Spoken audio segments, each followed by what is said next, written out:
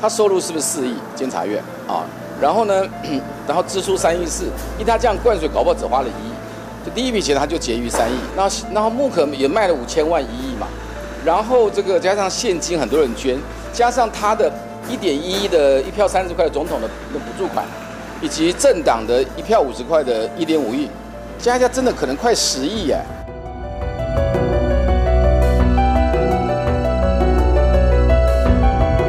觉得不必去扯蓝绿啦，因为这个落选的总统候选人，自从台湾光复以来哈，第一个人去买房子，而且我觉得很夸张的是，我算一算，搞不好有十亿，你知道？第一个，他收入是不是四亿？监察院啊，然后呢，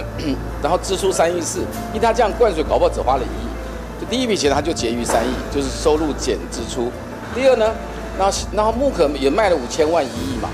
然后这个加上现金很多人捐，加上他的一点一亿的一票三十块的总统的的补助款，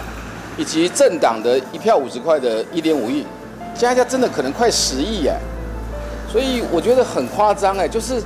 真的是下定决心捞一次哎，而且重点是他的发言人跟他自己他老婆都在说谎，因为你就犯你就认错嘛，看人民要不要给你跟政党一个机会，没有东扯西扯都胡说八道，就是。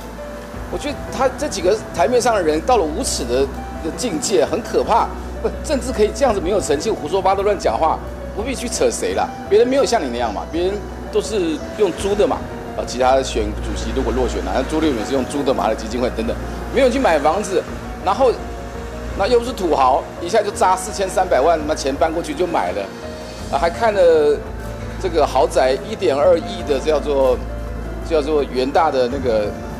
的房子，然后看了什么银一间里面的